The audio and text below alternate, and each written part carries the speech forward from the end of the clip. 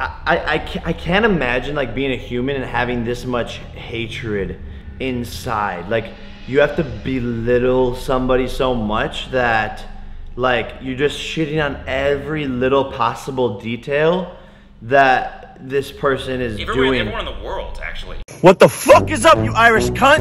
Good morning, Conor McGregor. I know you're probably beating up old dudes in a bar right now, or maybe you're jacking off because you're sick of fucking your wife. I mean, she's a four, Conor. You can do a lot better, but happy Monday! And Dana White, you're a fucking pussy too. Ugly, fucking bald bitch! You said there's 0% chance of this fight happening, but there's 0% chance of you beating some fucking pussy. Conor, you're scared. Dana, you're scared. Sign the fucking contract, you idiots. Jesus fucking Christ. Irish bitch.